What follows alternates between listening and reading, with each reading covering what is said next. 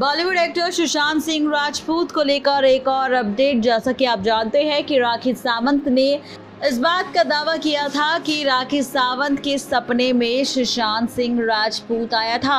और सुशांत सिंह राजपूत ने सपने में आकर राखी से ये बात खुद कही थी कि वो दोबारा इस दुनिया में वापस आना चाहते हैं और आने के लिए उन्हें राखी की मदद चाहिए। राखी को शादी करनी होगी और जब राखी माँ बनेगी तो राखी की कोख से ही सुशांत सिंह राजपूत का जन्म होगा।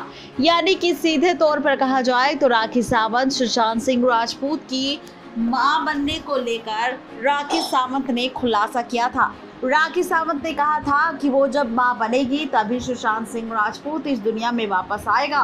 और सुशांत ने यह भी कहा था कि मैं जल्द से जल्द माँ बनूं।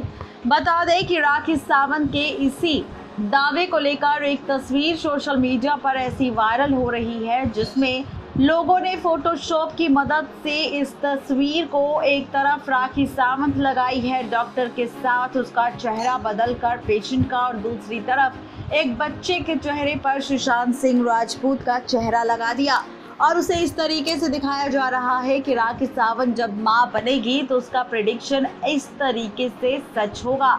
तो राखी सावंत का इस प्रिडिक्शन जो उन्होंने किया था सुशांत सिंह राजपूत के पुनर्जन्म को लेकर तो इस तरीके से सुशांत का पुनर्जन्म राखी से होता हुआ दिखाया। यहाँ पर कुछ फैंस ने, जहाँ पर किस तरीके से राखी माँ बनी और कैसे सुशांत का चेहरा फोटोशॉप की मदद से लगाया, ये बात आप देख पा रहे होंगे। सुशांत सिंह राजपूत को लेकर और राखी सावंत को लेकर। ये तस्वीर सोशल मीडिया पर काफ़ी वायरल हो रही है, जहाँ पर कुछ लोगों का कहना है कि राखी सावंत ने जो प्रडिक्शन किया था, वो गलत था और राखी सावंत को कोई हक नहीं है कि किसी के बारे में इस तरीके की बातें करे।